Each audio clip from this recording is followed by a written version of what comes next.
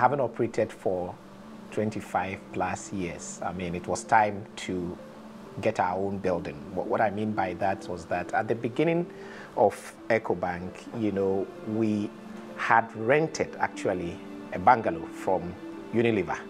So when we started, you know, we had started as a merchant bank with a staff strength of, uh, you know, about just under 30. EcoBank, as you know now, is about the biggest bank in Ghana.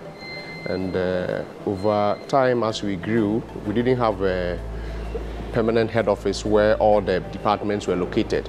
The former group uh, chief executive, Mr. Arnold Ekpe, had constantly been on our back that we needed to uh, build a, a, facility that he, he felt would, um, as it were, lend credence to the fact that EcoBank is here to, to stay. And so we had some people sitting in Tema, some sitting at Ridge Annex, some at Darkuman, some at uh, Matco House and Reinsurance. We felt that there was a need for efficiency to bring all of us together at one location.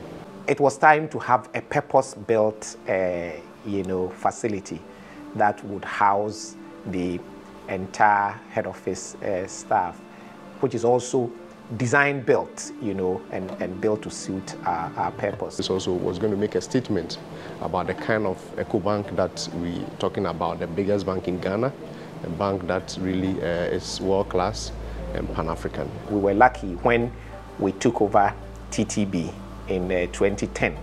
You know, TTB had this uh, plot.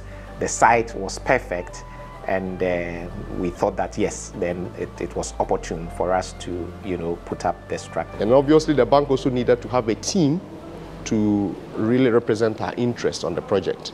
And so the bank put together a committee uh, that I chaired with other colleagues.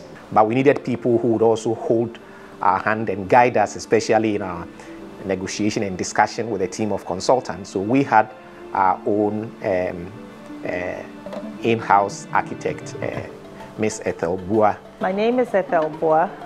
I'm the architect for EcoBank Ghana. I was engaged as their consultant architect on retainership. So I've been handling their branches. So my role was to put together the design brief for this magnificent building.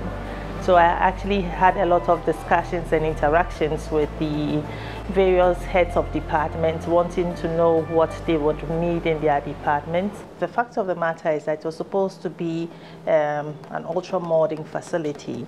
We didn't want the, the floors to be stuck in each other. So the idea was to do an open floor system, obviously not also cast in stone so that it would be easy to move people around. After putting together the brief, and then we engaged um, Ghana Institute of Architects who helped to put together a design competition. So it was a competitive kind of uh, exercise where they just came up with all kinds of designs what we had done was that, I mean, we wanted local content, so we insisted that um, the, the, the design team that were going to bid in the tender had to be a team made up of local architects. So the company that eventually won this was a, a joint venture between a local um, architectural firm and then a South African architectural firm.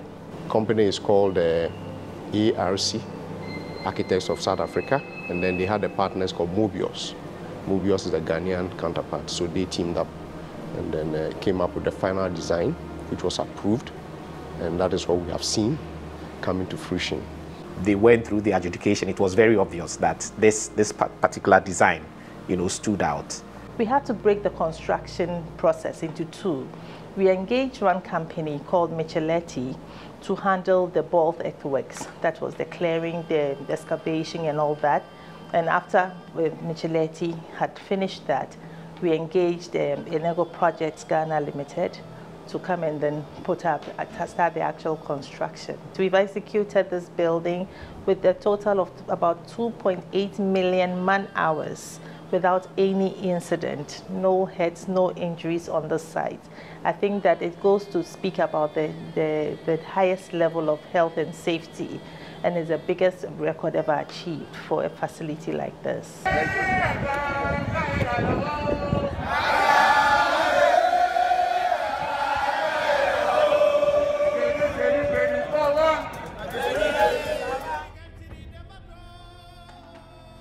It's actually a 14 floor building, if you like. We have two floor uh, basement where we have a parking lot. You realize that it's made up of two towers. We have the big tower which um, accommodates the head office corporate part of the building and then we have the small tower that accommodates the banking hall, the auditorium, the main canteen for the staff and then we have an executive canteen on the fifth floor.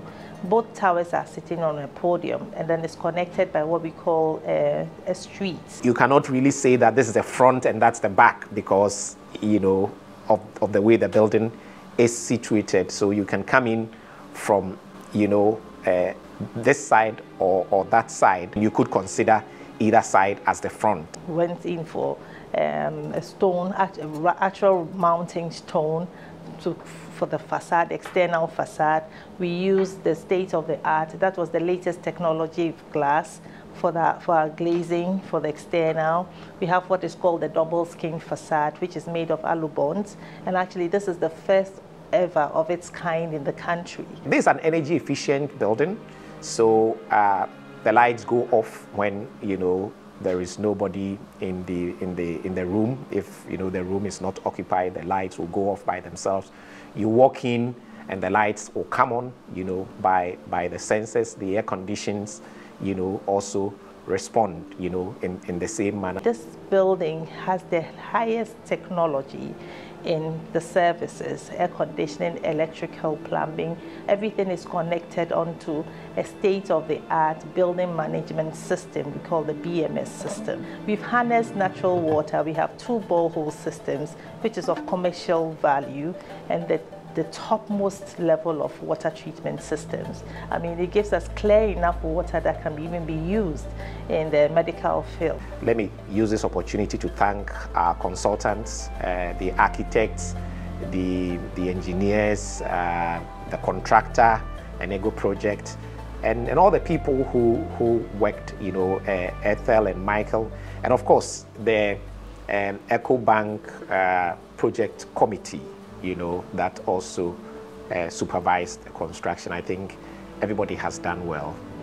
We actually had a very ambitious time frame of wanting to finish this project in 22 months. I mean, for a building that's over 27,000 square meters, it really has never been done in the country.